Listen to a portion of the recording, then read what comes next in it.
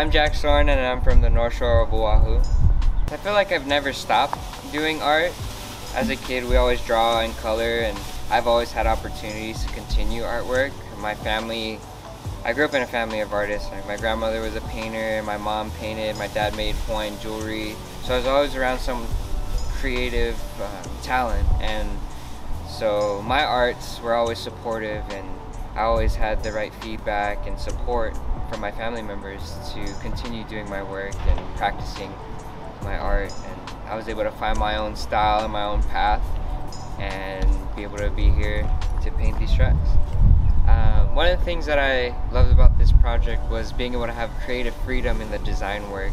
Meadow Gold was super supportive on allowing us to use our style and interpreting their products and their branding to create visuals for these uh, trucks and a lot of companies, you know, with their, there's guidelines, and they were really supportive of what we did and our styles. So I was, uh, a great opportunity to work with them.